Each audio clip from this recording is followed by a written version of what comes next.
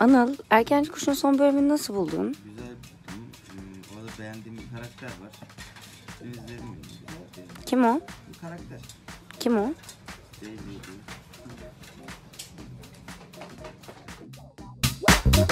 değil,